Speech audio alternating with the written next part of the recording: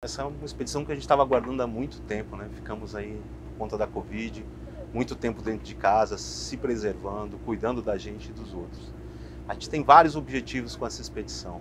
O primeiro, essa é uma plataforma para que pesquisadores possam investigar o rio Manicoré.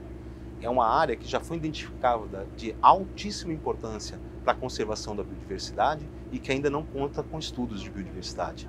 Além disso, nesse mesmo rio, existe uma luta histórica de 16 anos de comunidades que querem criar uma reserva de desenvolvimento sustentável e até hoje não foi possível acontecer.